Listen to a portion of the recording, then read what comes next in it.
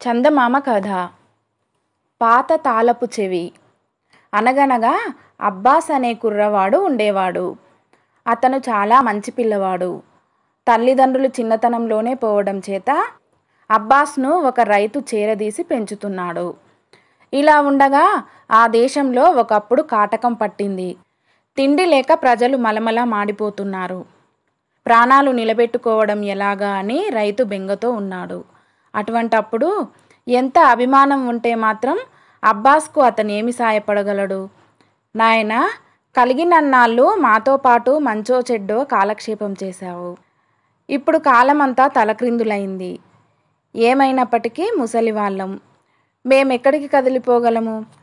ఇక్కడ మాతో మగ్గిపోవటం కంటే కుర్రవాడివి కదా. కాటకం లేని మరో దేశం చేరుకొని బాగుపడటం మంచిది కదా. నా మాట విని నువ్వు వెళ్ళు మేలవుతుంది అని చెప్పి దీవించాడు. ఆ ప్రకారం అబ్బాస్ బయలుదేరి సాగిపోయేసరికి పాడుపడి అక్కడక్కడ ముక్కా చెక్కలుగా మిగిలిపోయిన ఒక పురాతనపు కోట కానవచ్చింది. అలసి ఉన్న అబ్బాస్కు ఆ పాడుకోటలోనే పడుకునేసరికల్లా నిద్ర పట్టేసింది. నిద్దట్లో అతని భుజానికి ఏదో బరువుగా తగిలేటప్పటికీ కళ్ళు విప్పి చూశాడు. ఒక చేయి ఆకారము అందులో ఒక వెలుగుతూ ఉన్న దీపము అతనికి కనిపించాయి. కనపడటమే కాదు ఆ చేయి కదిలింది. ఈ చిత్రం చూసి ఆశ్చర్యపడి అబ్బాస్ ఆ వెలుగు వెంబడే వెళ్ళగా ఒక గొప్ప భవనము అగుపడింది. అతను అందులో ప్రవేశించాడు. భవనంలో లెక్కలేనన్ని గదులున్నాయి. ఒక విశాలమైన గదిలో వేయి రకముల పిండి వంటలతో సహా భోజనము సిద్ధంగా ఉంది. అబ్బాస్ కడుపు నిండా భోంచేసి మళ్ళీ వెలుగును వెంబడించాడు. అందచందాలతో అమరి ఉన్న మరి ఒక గదిలో రకరకాల దుస్తులున్నాయి. అబ్బాస్ తన పాత గుడ్డలు విడిచేసి మంచి సిల్కులు తీసి ముస్తాబు చేసుకున్నాడు. అక్కడనే దగ్గర ఉన్న హంసతూలికా తల్పం మీద హాయిగా పడుకొని నిద్రపోయాడు. మరునాడు ఉదయాన ఆ చేయి మళ్ళీ కనపడి అబ్బాస్ నువ్వు ఓరిమి కలవాడివి. మంచి ధైర్యశాలివిని ఎంతోమంది ఇక్కడికి వచ్చారు వెళ్ళారు. కానీ అందులో ఒకడు నీలాగా వెలుగు వెంబడి రాలేకపోయాడు. ఎన్ని కష్టాలు వచ్చినప్పటికీ సహించి ఈ భవనంలో మూడు రాత్రులు గడిపితివంటే ఒకనొక రాజకుమారిని బంధము నుండి విడిపించిన వాడవుతావు. అందువల్ల నీకు ఎంతైనా మేలున్నది అని అతనితో చెప్పింది. రాజకుమారిని విడిపించడం కోసమని అబ్బాస్ ప్రాణాలైనా అర్పించటానికి సిద్ధంగా ఉన్నాడు. రాత్రి కాగానే భోజనాల గదిలోకి పోయి మామూలుగా భోజనం చేసుకొని పక్క గదిలో హంసతూలికా తల్పం పైన హాయిగా పడుకున్నాడు. అర్ధరాత్రి సమయాన ఒక పెద్ద పటాలం వచ్చి చొరబడి వాళ్ళ చేతులలో ఉన్న గదలతో సున్నంలోకి ఎముక మిగలకుండా అబ్బాస్ను చితక్కొట్టారు. కానైతే మరునాడు పొద్దున్నే ఆ చేయి మళ్ళీ కనబడి తాను తెచ్చిన మందు వనరులు అబ్బాస్ వంటికి రాయటంతోనే రాత్రి అతను తినిన దెబ్బలన్నీ ఎక్కడివక్కడే మాయమైనాయి. రెండవ రాత్రి కూడా పటాలం వచ్చి చొరబడి అతనిని మొదటి రోజు కంటే గట్టిగా కొట్టారు. కిక్కురు మనకుండా అబ్బాస్ దెబ్బలన్నీ ఓచుకున్నాడు మరునాడు ఉదయాన మళ్ళీ ఆ చేయి వచ్చి మందు రాసింది. మూడవ నాడు మళ్ళీ పటాలం వచ్చి కింద మీద చూడకుండా అబ్బాస్ను చావమోదారు. నోరు మెదపక అతను ఆ బాధలన్నీ సహించాడు. మామూలుగా ఆ చేయి మరునాడు వస్తుందని అబ్బాస్ కనిపెట్టుకొని ఉన్నాడు. కానీ అతను అనుకున్నట్టు రాలేదు.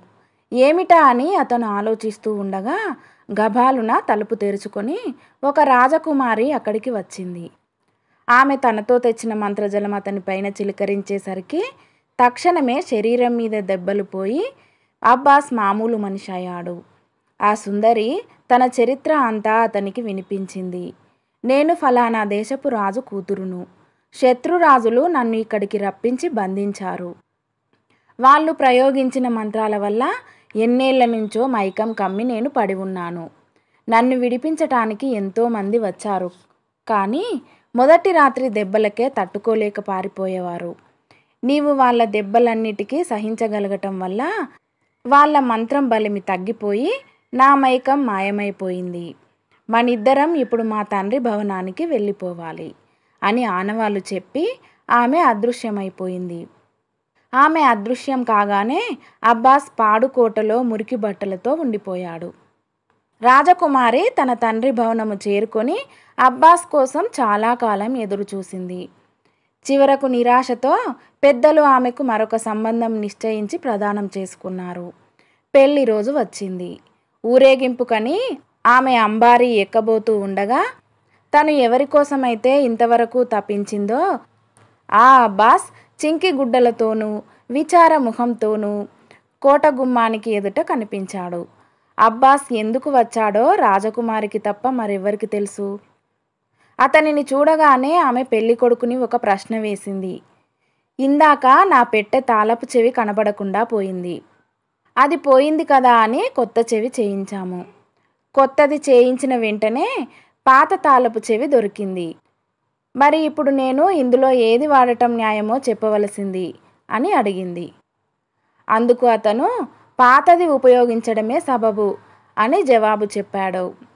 వెంటనే రాజకుమారి అబ్బాస్ను చేయి పట్టుకొని తీసుకువచ్చి అతను ఎవరో ఏ విధంగా తనను రక్షించాడో ఆ సంగతులన్నీ చెప్పేసరికి అందరూ ఆశ్చర్యపోయారు.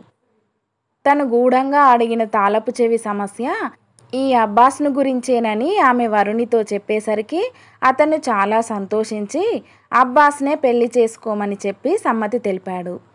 తెలివితేటలు వివేకము గల రాజకుమారి తండ్రికి పరిస్థితులు విప్పి చెప్పి ఆయన అనుమతి పొంది అబ్బాస్ను పెళ్ళి చేసుకొని హాయిగా ఉన్నది. కథ సమాప్తం.